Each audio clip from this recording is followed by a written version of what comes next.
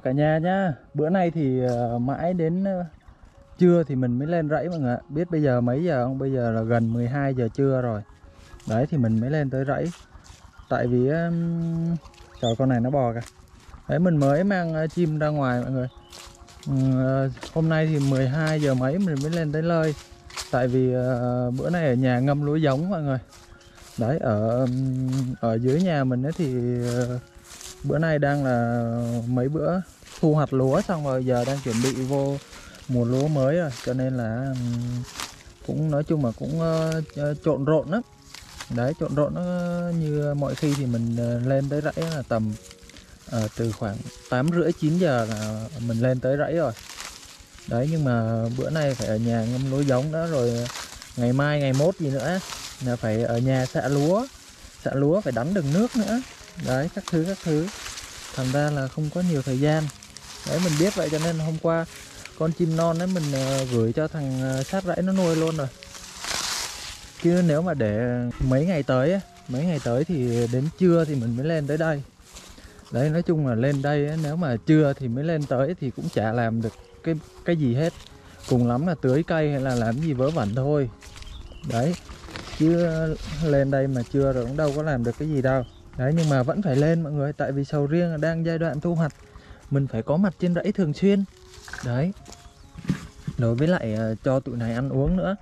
Như ờ, chim hút mật đi thì ờ, khoảng hai ngày cho ăn một lần cũng được. Nhưng mà mấy con như con cưỡng hay hay là chuột này, ngày nào cũng phải chăm sóc nó tí chứ. Đúng không? Đấy, giờ bắt nó ra. Bởi nuôi mấy chim non ấy thì nó mất nhiều thời gian lắm, mọi người ạ bởi à, nhiều à, nhiều bạn cứ bảo là nuôi chim non à, thế lọ thế chai nhưng mà mình bảo mọi người là có thời gian mới nuôi được. Tại vì đâu phải mình rảnh xuyên suốt được mọi người, ngày nào cũng như ngày nấy đều như vắt chăn được. Có ngày mình sẽ bận cái này bận cái nọ, nhiều khi mưa gió này, nhiều khi ốm đau, nhiều khi đám cưới. Đấy, còn mình thì chủ yếu là mình bận về cái làm lúa ở dưới dưới, nhà dưới ấy. đấy, mình bận làm ruộng nữa dưới đấy thì mình hai vợ chồng vẫn có mấy xào ruộng ấy. Làm ruộng ờ, kiếm kiếm lúa ăn rồi lúa cho gà. Rồi còn được ít nào thì bán. Chung một mùa thì tiền lúa thì cũng được ờ, từ 5 đến 10 triệu. Đấy. Với lại được dư được mấy bao lúa ăn. Đấy. Đấy bằng này cỏ thì tha hồ mà ăn luôn. Thế thường hồi nãy ờ, mới tới ấy, thì mình nhét vô cho nó hai ba cộng rồi đấy à, nhét hai ba cộng vô nó nó sáng lên thì ta hồi nãy lên thì thấy nó ăn hết rồi. Đấy cái nhét vô cho nó vài cộng mà nó ăn ghê lắm kiểu nó ăn từ sáng đến chiều đó con này thì bữa nay nó không chịu đứng im nữa rồi nó đi nó đi tùm lum hết á. Hồi nãy lên thì mình cũng cho nó ăn mấy hột rồi này ngâm cám nè. Ngâm cám cho nó sẵn rồi, rồi nãy lên cho ăn mấy con dế rồi. Nè Đấy, như ờ, mấy con này nó khỏe thì nó nuôi thì nó nó ăn ờ, nhu cầu ăn uống của nó cũng dễ. Đấy còn như mấy con chim non đấy thì uh, mấy ngày tới thì mình không không có lên rẫy sớm được nên thôi để cho nó nuôi luôn đi. Đấy nó nuôi được cho nó nuôi luôn đi chứ uh, thời gian nó sắp tới thì mình sẽ hơi trộn rộn một chút xíu. Phải đi uh, ở nhà xạ lúa nữa mọi người ạ. Đấy chả lúa có mấy chả ruộng mà nếu bây giờ mướn mướn người thì không bỏ. Đấy. Đấy mình phải tự làm thôi. Thành ra thời gian nó cũng bị ờ, không có được thoải mái nữa. Đấy, ăn no đó. Đấy, hai con chuột nó nó đang là đang là ăn cỏ đó mọi người. Đấy, thì mình thấy ờ, mọi người ờ, bình luận ở trên trên video của mình đó là bảo con này không phải là con chuột hamster mà nó là chuột chuột lang. Đấy thì mình à, trước giờ có nuôi đâu mà biết. Thì uh, thấy thằng bán nó kêu chuột hamster thì mình biết hamster thôi. Đấy chứ không biết là hamster là như thế nào mà chuột lang là như thế nào. Nhưng mà mình thấy lang hay hamster gì nó cũng dễ thương mà đúng không? Đấy nè. Đấy nó nó nó nó nó cũng dễ thương mà nó đâu đến nỗi uh, xấu đâu mọi người. Đấy kệ chuột lang cũng nuôi luôn mọi người ạ. Lang hamster ham tụng gì nuôi hết. Đấy thấy cưng mà đấy kệ đi chuột lang mình cũng nuôi luôn nha. Đấy. Quan trọng là thích còn uh, hamster là chuột gì? Vậy hamster là chuột chuột bé bé hả? Có phải hamster là cái chuột mà nó bằng cái à, ngón ngón tay không? Nhưng mà nếu mà cho dù mình biết con đó là hamster chăng nữa thì mình cũng vẫn thích nuôi cái cái loại này hơn. Loại này nó to hơn này mọi người. Đấy thấy không đấy sau ngày thứ hai thì bữa nay nó cũng đã à, tương đối nó dạn người rồi mọi người thấy không? Cái hôm đầu tiên mình cứ bỏ trên tay là nó tìm đường nó đi xuống à đấy còn bữa nay thì nó nó, nó bạo người hơn rồi nè. Thấy không? Bỏ trên tay nằm im nè. Đấy. Hôm qua mình bỏ vô cái này để mình bỏ cho trong chuồng nè mọi người. Đấy cho nó gọn. Còn mang cái lồng này thì nó cồng cành quá.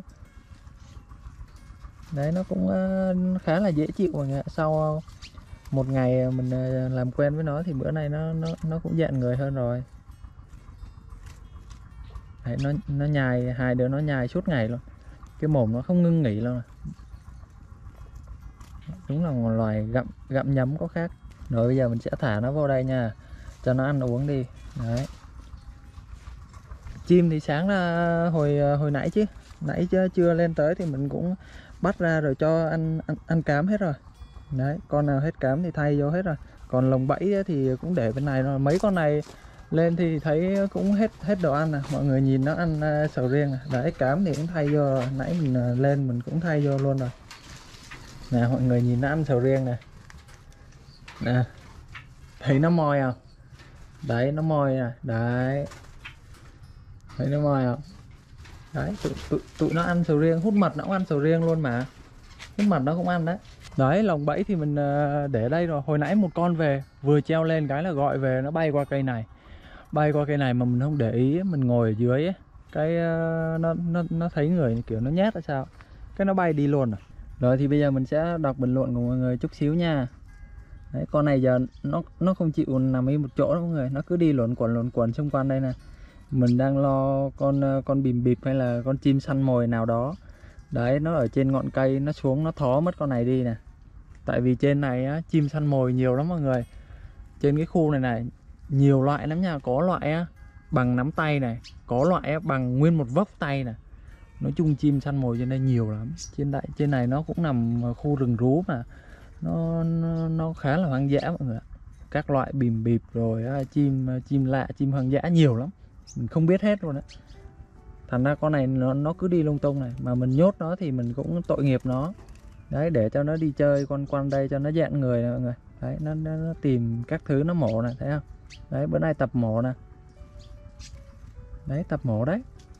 Đấy, xong rồi đi. Đấy đi đấy, đi. Đi lẹt đẹt lẹt đẹt như bà bầu á. Bắt đầu mổ cái này, cái kia đấy. Đấy. Mình chỉ lo là mấy con bìm bịp, con đồ nó nó nó nó bắt, nó ăn mất con này thôi. Rồi bây giờ mình sẽ đọc bình luận của mọi người nha. Lên hình chuột lang mà. Rồi lê long, ui, cái này bọ lang rồi thì mọi người nói thì mình biết con này con bọ lang rồi. Đấy cái thằng bán nó kêu mình là chuột hamster. Đấy thì ờ, mình mới khoe mọi người là chuột hamster.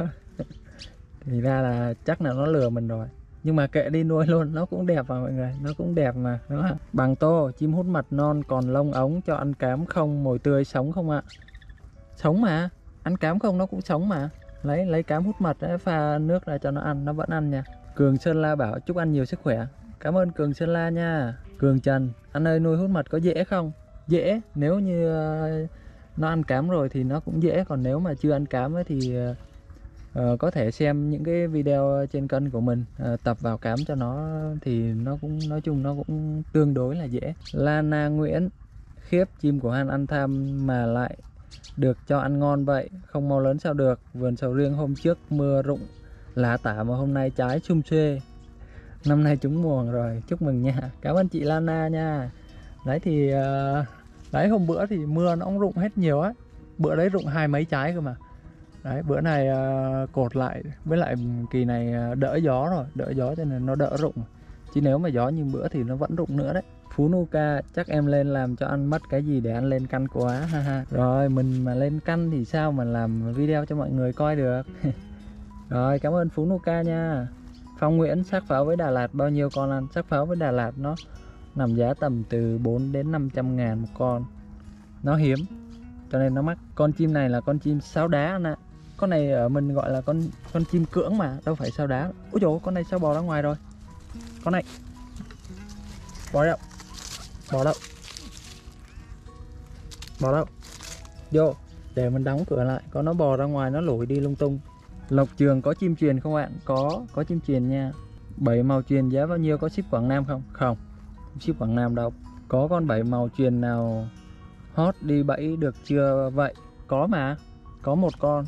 Đâu rồi đâu rồi, đâu con chọc đầu á. Con đấy đúng chiến luôn á. Nhưng mà Văn Sơn Ngô ở đâu nhỉ? Hai con chim này là chim phướn anh ơi.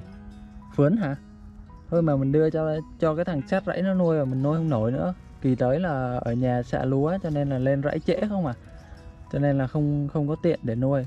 Thôi mình đưa cho nó nuôi luôn rồi mọi người ạ. Hút mật Đà Lạt cám hạt giá tầm bao nhiêu? Nó nằm tầm bốn năm trăm ngàn.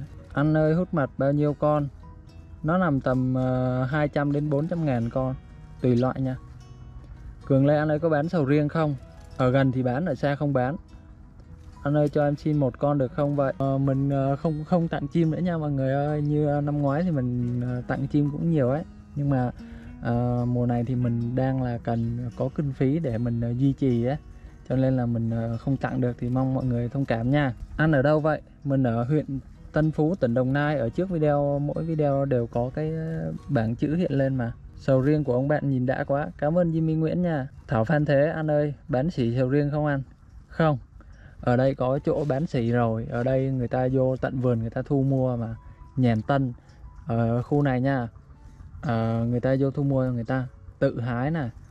Đấy rồi người ta tự vận chuyển ra bãi là người ta tự cân nói chung tự hết luôn. Mình chỉ việc cầm tờ giấy mình ghi thôi rồi mình lấy tiền thôi mọi người. Đấy không biết chỗ mọi người như thế nào nhưng mà chỗ mình là ờ, mua là như vậy đó. Uh, nhà chủ vườn đã không phải làm một cái gì hết. Đấy lái nó vô là nó tự xử với nhau hết. Nó tự khám tự cắt tự vận chuyển tự cân tự đưa xe tự xếp tự hết luôn mọi người. Mình chỉ việc ừ, lấy giấy bút ghi là lấy tiền thôi. Trọng thanh vũ máy làm cám bán bao nhiêu vậy anh? Máy làm cám giờ mình nghỉ bán rồi không bán nữa đâu. Máy làm cám là bán kiểu gửi vô mấy cái cái vô phải đi vô mấy cái tiết kiệm uh, giao hàng tiết kiệm với lại uh, Viettel Post đó mọi người. Trời ơi gửi phức tạp bà cố luôn. Mỗi lần gửi là bắt đầu nó nó nó nó coi mặt coi hình rồi đánh địa chỉ nó đánh lên máy rồi đến lúc lấy tiền á ký giấy ký đơn nhá rồi phải xuất trình chứng minh nữa trời ơi ăn được mấy chục ngàn chua còn hơn là cái gì nữa. Đấy gửi chán lắm mà đã vậy nhá. Đã vậy gặp bom hàng thường xuyên luôn. Đấy cứ là coi như là lên uh, mua xong rồi bắt đầu không lấy xong rồi bắt đầu bom thôi bom xong rồi á gửi về mất 50 ngàn nữa. Trời ơi mình bị mấy quả mình chán không muốn bán cái cái cái cối làm cám rồi mọi người đấy, chán là nghỉ bán luôn rồi. Game minh 03 chim phướn mặt quỷ đó anh ơi, chim phướn. Mình chưa thấy con đấy bây giờ. Duy Trần, anh ơi cho em hỏi chỗ em bán con cưỡng non ba trăm rưỡi mà em mua 300 vậy rẻ hay mắc và anh cho em hỏi là chống máy có quan trọng không anh? Câu câu trả lời đã nằm ngay trong câu hỏi rồi. Chỗ bạn bán ba trăm rưỡi, bạn mua 300 có rẻ không? Quá rẻ anh, gì nữa, rẻ hơn 50 ngàn rồi. Với lại con này mình cũng mua ba xị đấy. Đấy, rồi con đực cái có quan trọng không? Cái này mình nuôi lần đầu cho nên mình không biết nha. Ờ, mình chỉ à, tìm hiểu và thấy là con trống thì thường cái đầu nó to còn con mái cái đầu nó nhỏ. Đấy mình uh, mình biết như vậy đấy nhưng mà không biết là có chính xác hay không đâu nha.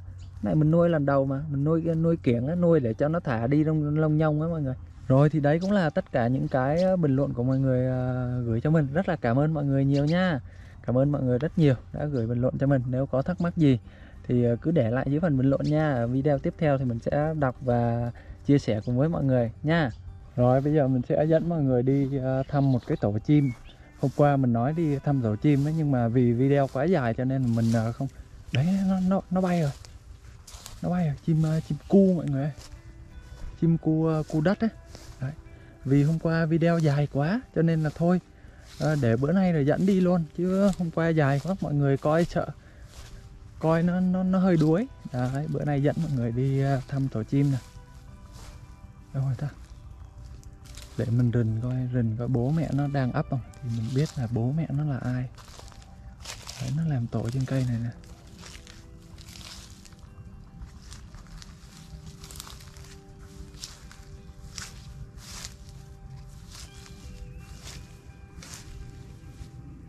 Đấy, mọi người thấy cái tổ nó không?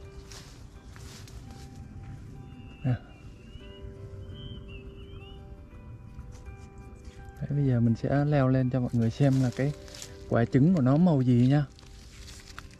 Mọi người ai có kinh nghiệm thì ờ, chỉ cho mình nha. Chỉ cho mình biết cái cái tổ này là tổ chim gì nha.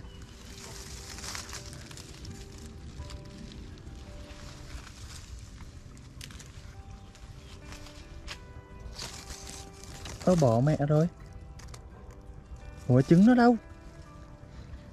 Ở đường rồi xong luôn mọi người ơi. Biết sao hôm bữa mình leo lên đây nè.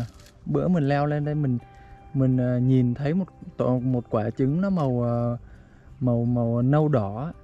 Đấy. Mà bữa nay quay lại thấy không thấy đâu nữa. Vậy là nó nó nó bỏ tổ à? Hay sao? Ăn được. Coi coi nó có rớt dưới không?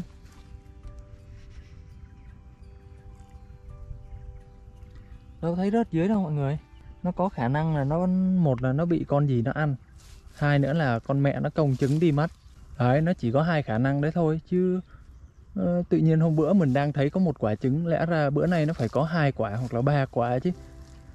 Tại sao bữa nay lại không còn quả nào? Ớ được rồi toi luôn. Hay là rắn rắn nó lên nó, nó đơm mất quả trứng rồi. Thôi để coi ờ, bữa hai nữa mình quay lại coi như thế nào. Trời ơi, tiếc ghê thấy cách đây ờ, ba bốn bữa rồi mà giờ tự nhiên không thấy quả trứng đâu nữa. Kỳ cục ăn đấy bữa nay thì mình mới ờ, mua được cái đèn khò này mọi người. Thì trước đây ấy thì mình có một cái khò này rồi. Thì cái khò này mình mua với giá là 90 ngàn nè còn cái khò này mình mua giá là 130 ngàn nè mọi người. Đấy nhưng mà biết sao không? mình ờ, lúc mà mình ờ, mới mua á mới sử dụng á, thì mình nghĩ là xài cái 90 được rồi. Nhưng mà không mọi người ạ. Cái này cực kỳ dở dở tệ luôn. Đấy, cái này thì ở trên rẫy thì ờ, ở đây người ta sẽ dùng trong cái cái việc là nối ống nước á. Đây nè. Khi mà phát cỏ hay là cái gì á, nó bị đứt ống nước hay là ống bị mục hay là cuốc trúng ống, nó có rất nhiều cái cái hoàn cảnh. Để mình sử dụng tới thì cái này mình sẽ khò ra, rồi nối ống các thứ các thứ đấy thì mình kho ra dùng để trong cái việc làm ống nước là chính. Còn cái việc phụ nó là đốt ờ, ờ, đốt đốt mấy cái chai thuốc sâu mọi người. Mấy cái chai thuốc sâu mình mình quẹt, mình mồi nó đâu có cháy được. Mình phải dùng cái này mình kho nè. Đấy, thì hồi hồi trước là mình mua cái này nè. Đấy, thì cái này mình ờ, nói cho mọi người để ai mà có kinh nghiệm mua cái này thì rút kinh nghiệm nha, đừng đừng có mua như mình phí tiền lắm. Đấy, cái này nó mắc hơn cái này 40 ngàn nhưng mà nó hơn chỗ nào nó có cái bật này. Đấy, nó có cái cò để bật bật này, mọi người. Còn cái này nó cũng có cò, nó cũng có cò nhưng mà mình phải ấn như này nè mình mình ấn. Chỗ này nó cũng có một cái đầu bịt giống như như này nè bịt vô đây nhưng mà dở tệ nó lỏng loe, lỏng loét là nó dở lắm. Nó nó quay còn bị liệt nữa mà. Nói chung là dở. Thấy mình à, mà mình ấn thì nó không có lên. Mình phải mồi bằng quẹt. Mồi quẹt thì nó mới lên. Đấy, này, dở lắm còn cái này nha bây giờ mình mới mua này mới mua trong hộp ra luôn đấy chưa xài luôn. bây giờ mình sẽ thử cho mọi người xem này đấy. Gắn vô rồi nè bây giờ mình sẽ lên ga nó nha. Đấy nhẹ như là hoa hồng vậy mọi người. Nè kho nè. Rồi bây giờ lên ga nè. Nào, ga nó có nhiều ờ, nó có nhiều cái ờ, cái cái cái, cái loại ga này từ lý nhí này đến to luôn này. To luôn này. Ngon cực kỳ mọi người ạ ngon lắm. Đấy mình bật có cái à, mình lên này vặn ga lên này xong bật này. Đấy là nó lên luôn.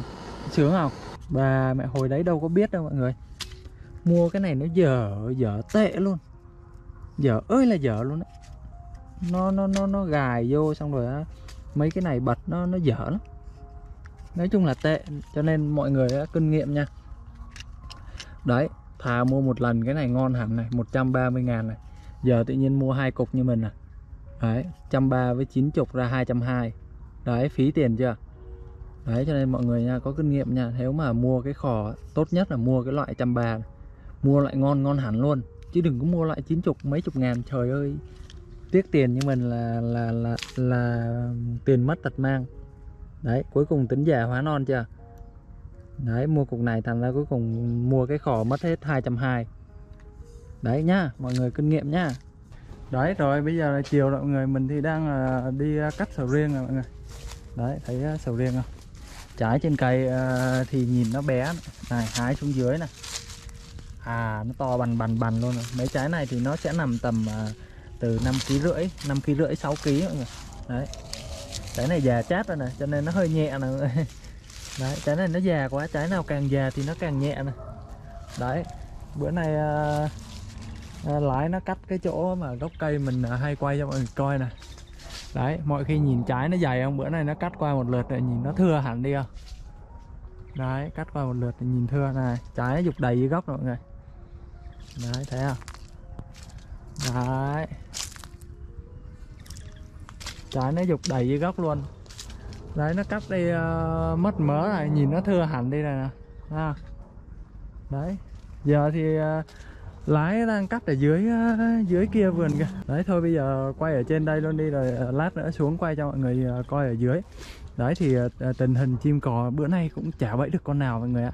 Mãi đến trưa mình mới tới thì bẫy được lúc thôi. Đến 3 giờ nắng nó sói vào đây là nó chiếu vào cái lồng rồi thành ra sót chim cũng mang chim vô luôn bẫy tầm hai, ba tiếng à? Có đúng một con nó về mà nó về cái cây này, xong ờ, cái nó bay đi luôn, nó không vô. Đấy, chuột thì đấy.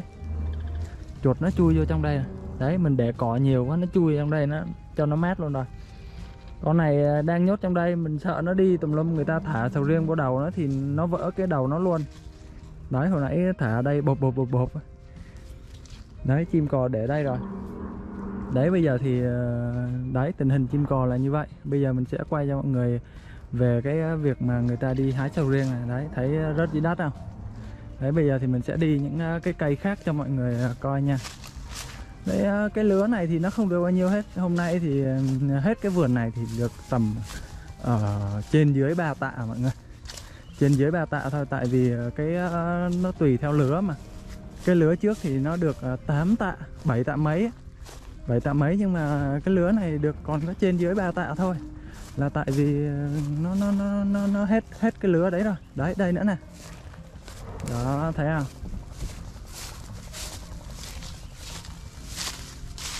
Đấy người ta người ta cắt và dục xuống như này xong rồi một hồi nữa nó mang cái xe máy ấy, nó đi gom mọi người. Đấy. Một hồi nữa lấy ờ, xe máy đi gom vô. Đấy những cây nào già thì nó cắt thôi còn như cây này nè cây này nó còn non này. Đấy cây này nhìn thì nó cũng nó nhìn thì nó già đấy nhưng mà mình nhìn thì mình không nhận ra đâu. Nó sẽ lấy cái dao thái lan ấy, nó gõ vào đây này. Nó gõ vô cái muối ấy. đấy nó kêu hễ mà nó kêu cột cột cột cột cột là trái già thì nó cắt. Còn hễ mà nó kêu là cóc cóc cóc cóc cóc cóc là nó còn non là nó không cắt. Đấy. Như cây này thì nó vẫn còn uh, hơi non này lứa sau này. Tầm uh, hơn một tuần nữa là là vừa. Đấy lứa này nó vẫn chê là non đấy. Đấy còn như cây này thì già rồi nè. Cây này già cắt được nhiều nè. Đấy thì nó cứ kiểu kiểu như vậy mọi người. Nó một cây nó sẽ không cắt hết đâu. Mà nó cứ đi uh, khám thôi rồi trái nào mà già thì bắt đầu thì bắt đầu cắt. À như trái này đi. À, thấy không? Trái này nó cắt ra nó khám nữa mọi người. Nhìn cái trái lằn này ôi ôi cái cơm của nó nè. Thấy cơm của nó chưa? Nhìn thích mê không? Nhìn cái vỏ này mọi người. Trời ơi. Đấy sầu riêng thái cái giá trị của nó bởi vậy nó mới có giá cao hơn là sầu riêng ri đó mọi người. Vỏ thì mỏng mà cơm thì này, trời ơi cơm nó dày này vàng ươm luôn đã ghê ha. Đấy thấy không? Thấy cơm của nó. Đấy thì người ta sẽ cắt cắt từ cái lúc mà như này nè. Xong rồi người ta tính trừ hao chứ. Tính cái đường mà từ ờ, từ Việt Nam mình này đi qua tới Trung Quốc là mất bao lâu bao nhiêu thời gian đấy. Thì người ta trừ hao ra cái thời gian đi như vậy. Và à, sầu riêng mà đi Trung Quốc là người ta cũng có ờ, nhúng thuốc đấy mọi người. Đấy nhúng thuốc để uh, chín cho nó đều đó người ta bán. Đấy chỗ này thì mình đang là bơm nước rồi đấy cắt xong thì mình sẽ bơm nước cho cây cây trái nó lớn nhanh. Đấy còn như cây này cũng vậy nè. Cây này hai trái này mình thấy nó ra đầu tiên luôn mà nó vẫn chê là non không cắt. Đấy. Thì à, thôi bây giờ thì à, quay cho mọi người xem vậy thôi. Bây giờ mình phải đi à, gom lại mọi người. Đấy mình đi gom trái mình mang ra ngoài đầu đường ấy. Tí nữa nó mang xe máy ra. Đấy mang xe máy ra nó nó nó, nó chở, nó cần, nó chở. Cái này thì mình không không không ờ, không có bắt buộc là mình phải đi gom, nhưng mà, kiểu, mình thấy cái bữa này hàng lái nó có một mình nè đấy, thôi phụ phụ mọi người ạ. Phụ chút xíu đi cho nó lựa trái cho mình thoáng hơn tí cũng được. Nói chung cũng chả thiệt đi đâu tí nào. Đấy, còn như cây này nó còn non này. Đấy, cây này trái còn bé nữa mọi người. Cây này trái còn bé là mình phải ờ, tưới nước nhiều vô cho nó phì trái ra này. trái này nó hơi hơi tóp này đấy nó thiếu nước mọi người. Tại hai ngày nay cứ nhá nó cứ bảo là nó, nó cắt xong rồi không cắt cắt xong rồi không cắt thành ra mình không có dám tưới nước ấy. Đấy bây giờ bây giờ cắt xong cái là tưới luôn. Bữa nay dự là có thể là giờ chiều là có thể là về tối luôn. Ấy. tại bơm nước ấy, xong cái chỗ này cũng phải mất tầm 3 4 tiếng thôi đấy về tới nhà thì cũng tầm 7 8 giờ. Đấy rồi thì thôi bây giờ quay như, như vậy cho mọi người xem thôi nha rồi bây giờ mình à, phụ nó chuyển hết sầu riêng ra rồi tưới nước, có một hồi tưới với sầu riêng nó là ướt hết không được. Đấy, rồi vậy nhá. Mai à, mai quay tiếp nha mọi người ơi. Rồi thì mình cũng à, xin dừng video tại đây nha. Nếu như thấy video thú vị, Đừng quên ấn nút đăng ký Và tiếp tục theo dõi những video tiếp theo của mình nha.